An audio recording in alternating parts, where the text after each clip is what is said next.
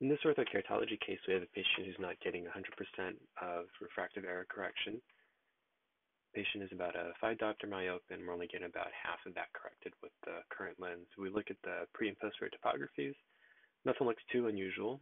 Uh, Ks are a little bit flat for a moderate myope, but eccentricities look good and shouldn't be a problem. Post-root topography shows pretty good alignment, peripherally maybe a little bit loose superiorly, and inferiorly. Lens drops a little bit while it's being worn. Um, but in a case like this, I think I would just uh, increase the topo demand, uh, measure the HVID, and if I bring up the lens, let's see, we're on a 10.5 OAD lens, we can probably make that a little bit larger. That may help centration, maybe tighten up the vertical meridian and then increase topo demand. I'd also recommend, since we're at about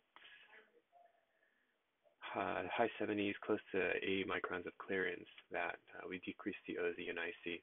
If we just increase the topo demand, we might get a little bit too much clearance, lots of bubbles, and it may not give us a treatment effect that we really want. So I'm going to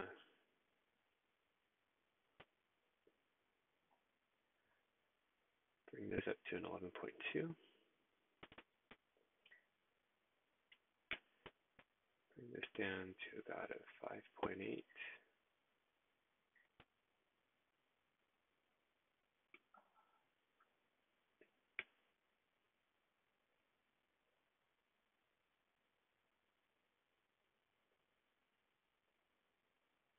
Six point four.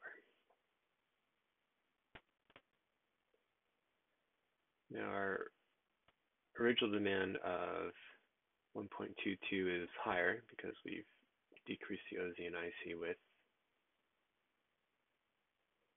And at plus 240, coincidentally, that's pretty close to where I would set the new target power.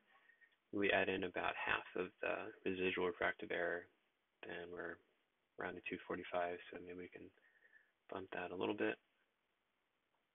And then anytime we change powers with wave, I like to go into 25% mode and just check each meridian because we'll probably find that there are some meridians where power is a little bit off.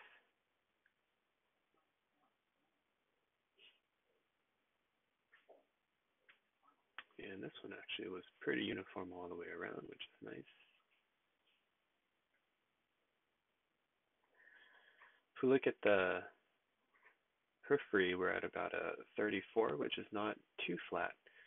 So in order to steepen the lens this way, we can lift a little bit in the horizontal meridian 50% mode. But most of my changes I'm going to make in the vertical meridian by bringing the lens down.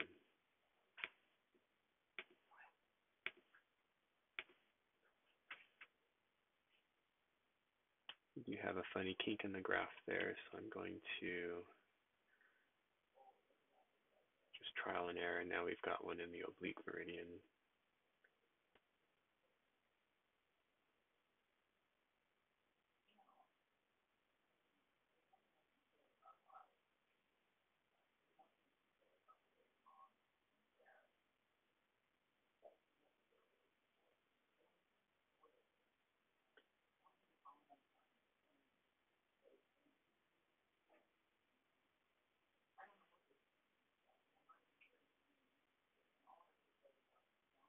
And sometimes this is just a fair amount of trial and error. Find the combination where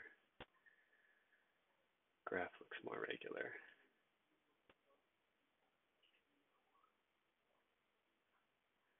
Okay, that looks pretty good. So this lens is going to look like it touches down on the superior and inferior cornea much earlier than it does on the horizontal. Overall, I think that'll give us better alignment, larger diameter, increase topo demand or power. And then we need to reset our thicknesses also since we change our diameter. We can go back to your original thicknesses. So hopefully this will get the patient seeing a little bit better and give us a slightly better centered post-wear topography. So I hope this is helpful. Best of luck with your patient.